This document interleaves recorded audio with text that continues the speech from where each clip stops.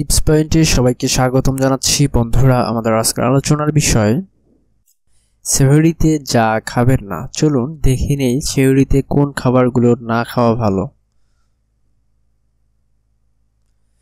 গরমের দিনে রোজায় সেহরিতে খাবার অত্যন্ত সতর্কতার সঙ্গে খাওয়া গুরুত্বপূর্ণ। সেহরির খাবার মুখরোচক, স্বাস্থ্যসম্মত হওয়া যেমন প্রয়োজন, তেমনি সহজে যেন হজম হয় ও সারাদিন সুস্থতা রাখতে সাহায্য করে, সেই বিষয়গুলো দরকারি।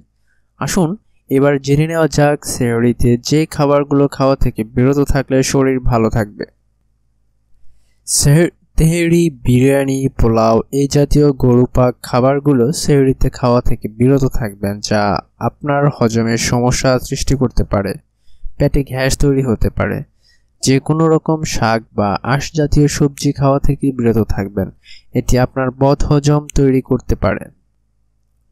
সেহরিতে শুটকি মাছ রান্না ও ভর্তা খাওয়া থেকে বিরত থাকবেন। এটি আপনার হজমের সমস্যা সৃষ্টি করতে পারে। অধিক মশলা জাতীয় তৈলাক্ত খাবার দিয়ে রান্না সেহরিতে খাওয়া থেকে বিরত থাকবেন। আগে থেকে রান্না করা মুরগির মাংস সেহরির সময় গরম করে খাবেন না।